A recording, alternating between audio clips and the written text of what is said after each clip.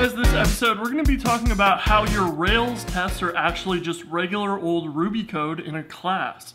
And we're going to use an example with action cable testing for our example. So we're going to actually be setting up a test to make sure that action cable is connecting to our devise user.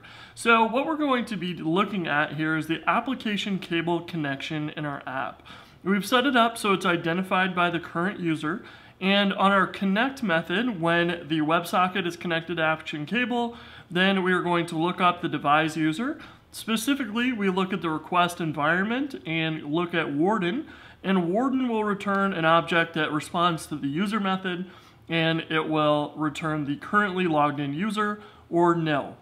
So in this case, we assign it to current user and return that value, and we can log in that user into our action cable requests and channels.